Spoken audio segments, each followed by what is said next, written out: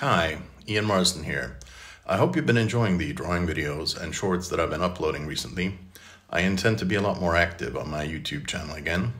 And I also look forward to your feedback and questions if you have any, and uh, what you think. So let me know.